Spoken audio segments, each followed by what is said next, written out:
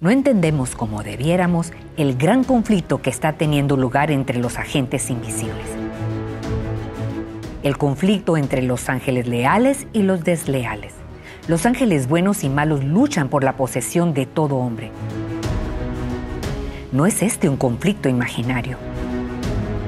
No es una batalla ficticia aquella en la cual estamos empeñados.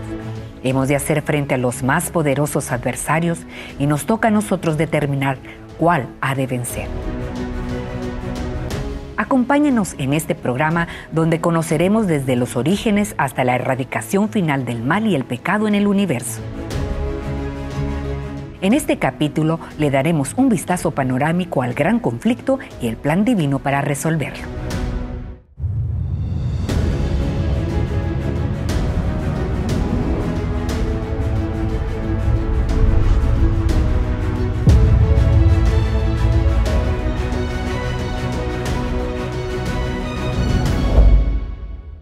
Hola, bienvenidos a nuestro programa.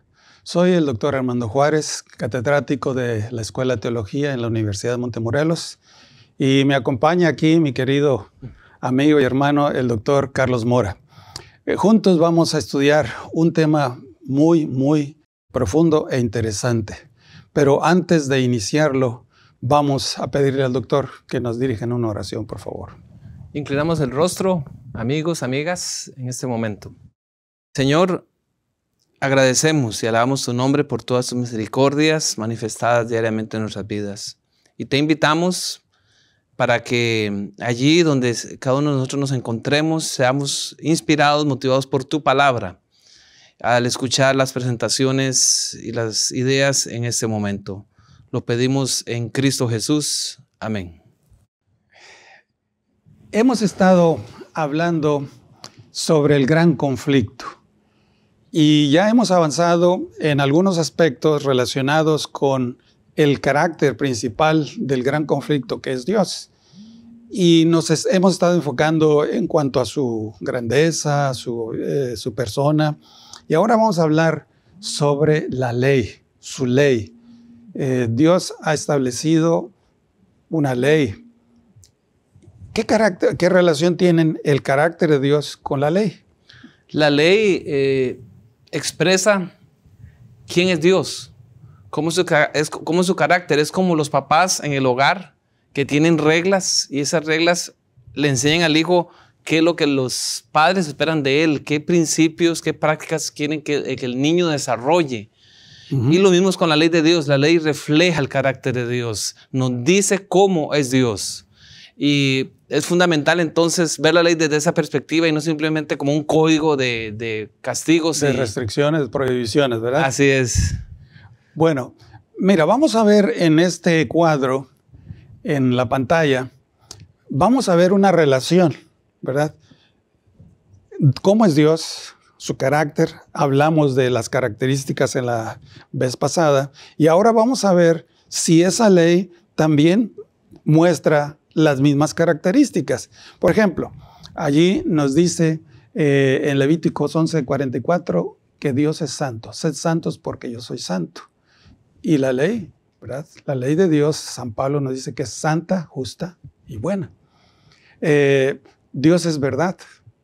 Es una persona, la verdad no es algo eh, intangible, es una persona. Dios es verdad y su ley, dice la Malaquías, es la verdad. Dios es santo, Exacto. Es eh, puro y la ley de Dios también es pura, es santa. Es perfecta. Es perfecta. Bien, así como nos dice Romanos 7:12, la ley, Dios es espíritu, ¿verdad? Es un ser espiritual, no es un ser material, eh, es una persona, pero es, e, es espiritual, es una dimensión que no entendemos nosotros, pero es una persona como, bueno, nosotros tenemos la semejanza con Él. Y la ley de Dios también es espiritual. Nos dice Romanos 7:14. Eh, la ley de Dios es eterna, Dios es eterno. Dios es invariable, inmutable, ¿verdad? Nos dice Santiago 1.17 y eh, el Salmo 89.34 nos dice que es inmutable. Y es lógico estas conexiones porque eh, la ley es, es, describe el carácter de Dios, entonces que prácticamente estamos hablando de lo mismo. Entonces no, no puede haber como diferencia entre, entre Dios como persona y su ley. Eh, no Porque describe lo que Dios es. Y si tú, tú no estás de acuerdo con eso, entonces estás eh, con la ley, ese principio, pues estás en contra de, de la persona. Porque Él es el legislador y el legislador impuso esos principios con un propósito. Así es. ¿Cuál es el propósito? El propósito de la ley es que nosotros le conozcamos y al seguir ese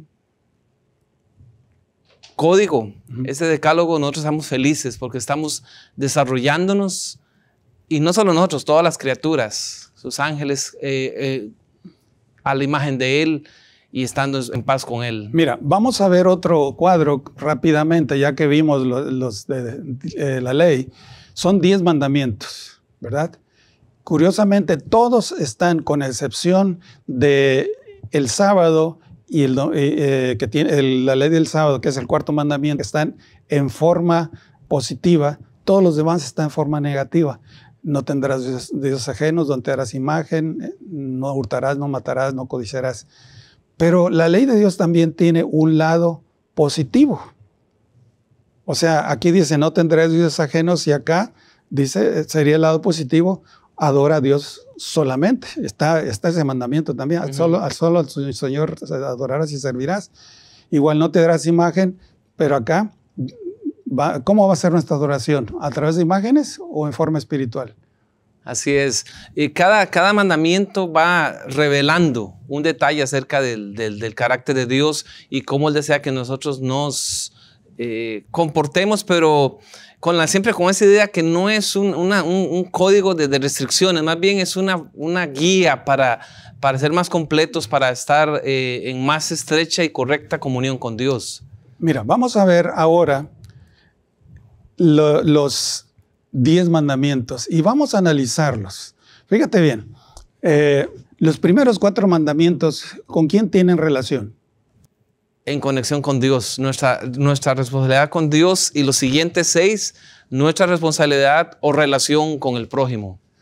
Eh, pero son eternos porque dice, los 10 mandamientos son eternos porque Dios es eterno, Así ¿verdad? es. Eh, pero yo encuentro tres mandamientos ahí, como que no tienen que ver con la eternidad. Por ejemplo, acuérdate del día del sábado. La Biblia dice que el sábado fue hecho por causa del hombre y el hombre fue hecho no sé cuántos tiempo después. Honra a tu padre y a tu madre. Allá el- hay un padre, pero no hay madre. y no cometerás adulterio. Dice que los ángeles no se casan. Entonces, ¿cómo está eso? Bueno, de eso, el próximo segmento lo vamos a ver porque esto se está poniendo bueno. Adelante. La ley del Señor es perfecta, infunde nuevo aliento. El mandamiento del Señor es digno de confianza, da sabiduría al sencillo. Los preceptos del Señor son rectos, traen alegría al corazón. El mandamiento del Señor es claro, da luz a los ojos. El temor del Señor es puro, permanece para siempre. Estamos eh, hablando acerca de Dios y la ley. Eh, nos quedamos, doctor, que los diez mandamientos estaban divididos en dos secciones, ¿verdad? Uno que tiene que ver con la relación nuestra con Dios, los cuatro primeros mandamientos. Eh, adorarás al Señor tu Dios, no harás imagen, no tomarás el nombre de Dios en vano y El- acuérdate del sábado, que es el día de adoración para el Señor. Los otros seis tienen que ver con nuestra relación con nuestro prójimo. Eh, otro aspecto que hablamos que son un reflejo de la ley de Dios, de- perdón, un reflejo del carácter de Dios. Ahora, si Dios es eterno, por consecuencia, la ley tiene que ser eterna, porque es el, es el carácter de Dios y ex- ha existido desde la eternidad. Sin embargo, cuando yo veo los diez mandamientos, encuentro algunos como que no, no son eternos. La manera en que están expresados. Eh, como están redactados. Por ejemplo, eh, acuérdate del sábado. Yo veo que en la Biblia el sábado fue creado en el séptimo, siendo el séptimo día de nuestra creación. Y el Señor Jesús dijo, el sábado fue creado por, Por causa, causa del hombre. Entonces, como que eso, como que desde la eternidad, eh, honra a tu padre y a tu madre. En el cielo solamente tenemos un padre, pero y de la madre, porque los ángeles no tenían. Este, no cometerás adulterio. Jesús dice que los ángeles no se casan. Entonces, ¿cómo explicar esto? El, el punto básico es que la ley es, representa los principios de- el- del carácter de Dios y que eh, esos principios están expresados allí, pero lo que nosotros tenemos en los mandamientos que fueron entregados en el monte Sinaí fueron, fue la redacción que se le dio a esos principios en ese momento de acuerdo a las necesidades del pueblo de Israel y de nosotros también hoy en día. Fueron expresados la mayoría de ellos en forma negativa, no hagas esto, no hagas lo otro. Pero detrás de ello hay principios que son eternos, que no cambian. Exactamente, o sea que la ley de Dios está redactada para nuestra condición caída. Dios viendo en su preconocimiento los problemas que tendríamos, entonces para evitarlos, Dios lo redactó a nuestra condición caída. Así es. Y entonces, eh, basado en qué? En principios que han sido eternos. Por ejemplo, vamos a verlo aquí en nuestra pantalla. Dice la- que la- el, el primer mandamiento, no tendrás dioses ajenos, nos habla de lealtad y solo a Dios, unicidad, ¿verdad? El segundo nos, nos invita eh, a nuestra forma de adoración Ujú. y que esa de ser espiritual y no basada en elementos físicos, en, el- en- En imágenes, objetos, en eh, imágenes. objetos. Yo creo que ahí, ahí está la idea. La idea es el, el principio y hay que pensar en esos principios antes de la caída del ser humano, allá en el cielo. Que no es- necesariamente fue expresado así, pero esos principios no cambian. La reverencia, no tomarás el nombre de Dios en vano, allá El el, respeto, principio la- es el respeto, ¿verdad?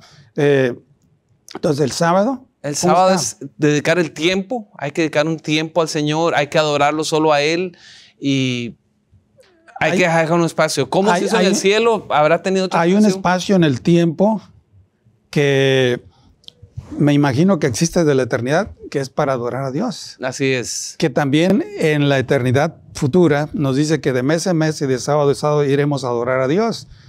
El sábado, o sea que el concepto del reposo y el estar en comunión y relación con Dios nos hablan precisamente de un principio que existe de la eternidad, que fue redactado aquí en base a que fuimos creados eh, de- con un modelo siguiendo el patrón de la Tierra de 24 horas. Sí. Y de allí viene una, una consecuencia muy interesante. Si nosotros algún día pretendemos ir al cielo y anhelamos ir al cielo, hay que empezar a practicar esos principios aquí, porque eso es lo que se va a practicar allá.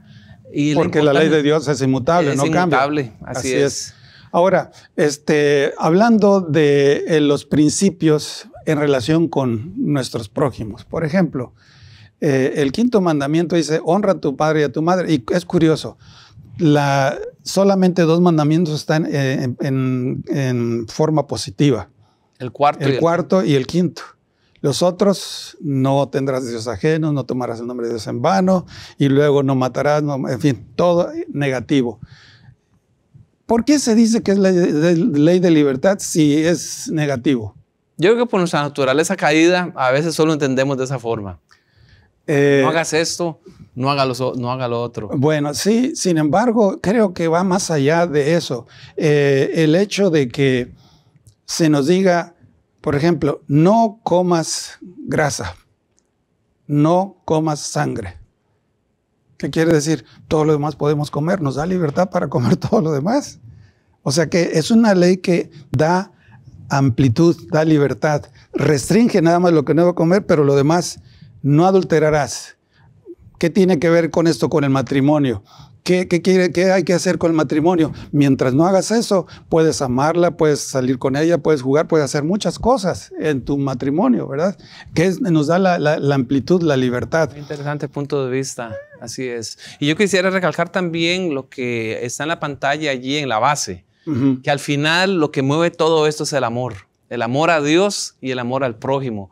No es, eh, eh, insisto en la idea, no es un código de restricciones, es más bien una forma de expresar nuestra relación, en este caso con Dios, que es tan importante, y la única motivación tiene que ser el amor. Sí, por eso es que Jesús cuando habló, eh, le preguntaron cuáles son los dos grandes mandamientos. Amarás al Señor tu Dios sobre todas las cosas, amor a Dios y, a, tu, prójimo. como a ti Ahí mismo. están los dos mandamientos. vamos a decirlo, están resumidos todos los mandamientos en el amor a Dios y al prójimo y el fundamento principal es el amor, porque porque el amor es la naturaleza y esencia de Dios, Y entonces- representa el carácter de Dios. Este detalle, pastor, nos recuerda entonces que la ley no es legalismo. No es que hay que cumplir un código para llenar ciertos requisitos o ciertos méritos, sino que eh, lo que mueve la obediencia es el amor. Y si no hay amor, entonces no es una verdadera obediencia. Es interesante que cuando uno lee 1 Corintios 13, donde habla del amor, es esto, es lo otro, en fin, si uno eh, le quita la palabra amor, porque Dios es amor, y pone Dios, está describiendo la naturaleza de Dios. Es interesante, muy, muy, muy, Muy bonito ejercicio que invitamos a nuestros amigos que lo hagan con Ah, su claro. Biblia. Vean, lean 1 Corintios 13 y di- digan, bueno, en lugar de Dios, eh, perdón, amor, póngale Dios, póngale Cristo. Cristo es sufrido, no paciente. bondadoso, en fin, y no deja de ser, o sea que es inmutable. Qué, qué interesante, ¿no? Que eh, en la ley de Dios está concentrada la esencia de lo que es Dios y de nuestro deber hacia Él y hacia... Y ojalá que esta, que este día la compartamos con otros y sobre todo la vivamos en nuestra vida. Eh, la ley es, es, es una experiencia agradable. Ahora vamos a hablar en el siguiente segmento de los esfuerzos satánicos que ha empleado para echar abajo y destruir ese concepto de la ley de Dios. Así es que amigos, vamos a seguirle en el próximo segmento. Satanás fue quien inició la rebelión contra la ley de Dios en el cielo. A causa de esta rebelión el pecado surgió a la vida. Satanás insistentemente sostuvo que Dios no actuó en forma justa con él. Criticó el plan de gobierno de Dios. Sostuvo que la ley divina era arbitraria y perjudicial para los intereses del universo celestial y que necesitaba un cambio.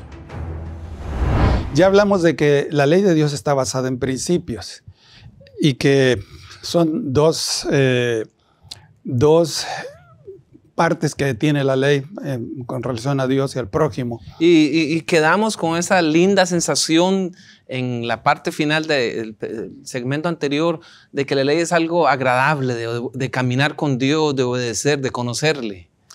Bueno, porque tiene su fundamento en el amor Así es. y todo lo que está fuera del amor, la verdad, eh, es egoísmo, codicia, es todo lo peor.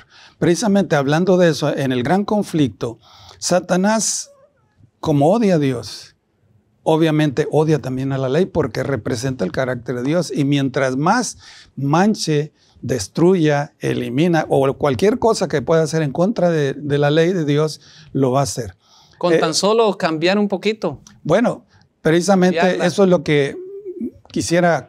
Vamos a ver, mira, aquí en la pantalla, vamos a ver dos eh, listas de los diez mandamientos, pero una de acuerdo como está en la Biblia y el- los otros diez mandamientos de acuerdo como la Iglesia Popular los tiene en su, eh, Catecismo. en su catecismo, ¿no?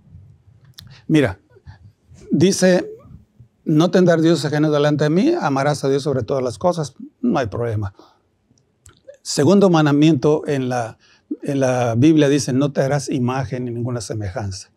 Acá el segundo mandamiento, no tomarás el nombre de Dios en vano, que es el tercero. Tercer mandamiento de, la ley dice, no tomarás. Así que allí hay un- una variación. Luego el cuarto mandamiento, acá acuérdate del sábado para santificarlo, y ahí dice, santificarás las fiestas, que tienen una relación, pero Una acá, relación, pero ya. hay- pero ya habla, ahí pueden ser todas las Una- fiestas de sí, San una Pedro, San Pablo, de la. Navidad y todo lo demás, mientras que aquí está hablando exclusivamente Del del, sábado. sábado. O sea que lo hace de una forma muy sutil, pero está cambiándolo ya. Eh, vayamos entonces, como se quitó un mandamiento, el segundo mandamiento se eliminó porque habla de no adorar a esa imagen, entonces hay un problema. Todos los demás siguen igual.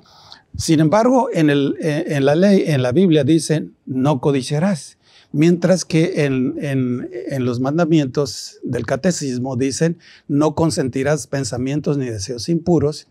Noveno y el décimo, no codiciarás los bienes ajenos.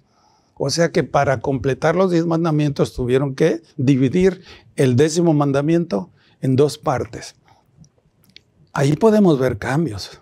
Eso, eso es un, un ataque muy serio porque... Muy sutil. y muy sutil. No se nota. Y, y Pero ahí el problema está. es que, como vimos, eh, estamos hablando del carácter de Dios. Usted no puede venir y, y con, arrogarse la autoridad de cambiar lo que representa a Dios, lo que es su, su- las bases de su gobierno y hacer este cambio. Eso es lo que dice Daniel 7:25, que cambiará los tiempos y la Y ley. la ley. Exactamente. Y además Apocalipsis dice que si le quitamos a la palabra de Dios algo, o si le añadimos, hay maldición para ello. Así es, es un tema muy, muy, muy serio, pero es un engaño que puede y está, y ha logrado muchas veces confundir la mente de las personas. Sí, y todo está, mis amigos, de que simplemente tomemos la Biblia. Y precisamente para eso Dios nos dejó la Biblia, para que la leamos y entonces comparemos lo que otros enseñan. Y si no está de acuerdo a esto, es como dice el, el profeta Isaías, no les ha amanecido. Sí, a la ley de testimonios. A la ley y al testimonio, ¿verdad? Ahora, vamos a ver que no solamente en este aspecto el diablo ha hecho sus esfuerzos, vamos a ver que hay otros eh, esfuerzos, como ya lo mencionaste, especialmente en las profecías de Daniel, Daniel 7, ¿verdad? Que se ha intentado cambiar los tiempos y la ley, pero vamos a ver, por ejemplo, en una forma a lo largo de la historia, podemos ver que durante todo el Antiguo Testamento, la observancia del séptimo día, el sábado, los judíos hasta la fecha guardan el sábado. Y no solo el Antiguo Testamento, también el Nuevo Testamento presenta como Jesús, eh, sus seguidores, su propia madre, respetaron el sábado. En, en Hechos de los Apóstoles, incluso después de la muerte de Cristo en la cruz, ellos se reunían, adoraban y respetaban el sábado. Sí, por eso dice ahí en Lucas 4:6, vino a, eh, el sábado conforme a su costumbre, ¿verdad? A, la- la- adorar a Dios. Ahora, ¿qué pasó? ¿Por qué la observancia del sábado dejó de, existir? Si los apóstoles lo guardaran, si Jesús lo guardaba y la iglesia cristiana por un periodo de tiempo también lo guardó, hubo un cambio allí. Ese cambio fue allí en el siglo IV con Constantino, ¿verdad? Con una ley que establecía que el día primero del día del sol, ¿verdad? Del Dominicus Day, el día del Señor Sol, el Dominico es el Señor Sol, se debía de guardar y entonces el sábado se dedicó para eh, uso de ayuno, algo triste, mientras que el otro era de fiesta.